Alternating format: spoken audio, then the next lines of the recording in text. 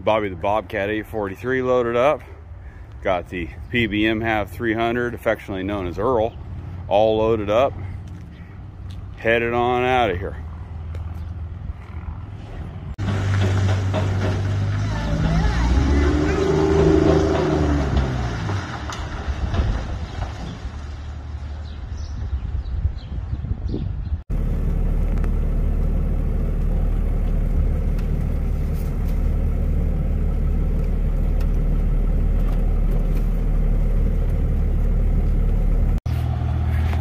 Sometimes you got to get backed into these little tiny places.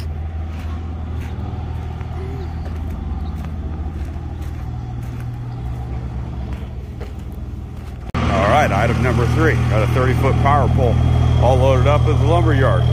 Maximizing trailer space. All everything's headed to the same direction, but not all for the same use.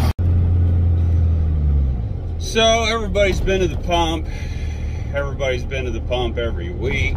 Everybody keeps watching the price of fuel jump. Every time you go to the pump, it's up, what, five cents, 10 cents, or even worse. And the question is, the real question is, is where's it going to end? Where are we going to wind up by the end of the summer? You know, it's uh, unbelievable of uh, trying to fathom being able for operations to function and operate at eight, nine, ten dollar fuel.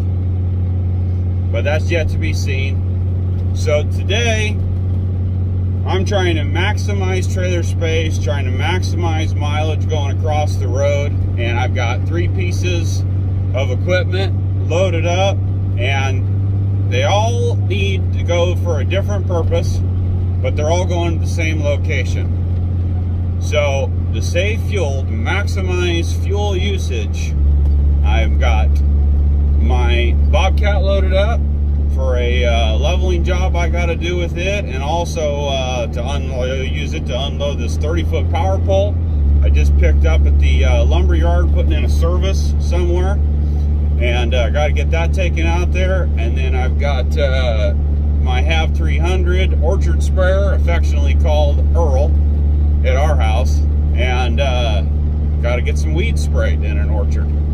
So got all three loaded up behind the 01 Dodge and uh, not real heavy. We're the Half 300, it weighs, I don't know, about 3,400 pounds. And the Bobcat, I think, weighs about 5,600. Got the trailer weighs 6,800. I got a, a bucket and my pallet forks, but um, you know, we're not, we're talking 15, 16,000 pounds behind the truck. It's, it's everyday occurrence for this truck. And uh, so headed out, go getting unloaded.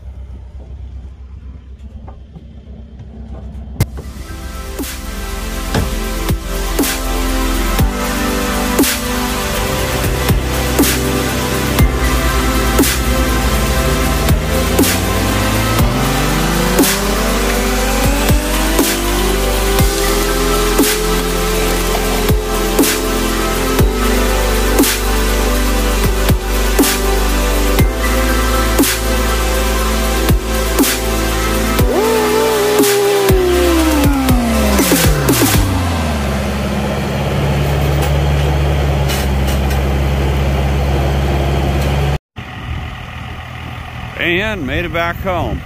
A successful one trip, dropping off three different items, two machines and a pole, and uh, strategically trying to maximize mileage with the amount of fuel that's burnt. And uh, it wasn't too bad, but about 16,000 pounds behind the truck. Oh, grossing out maybe 25. So not too heavy today. Not too light, not too heavy though. So thanks for watching.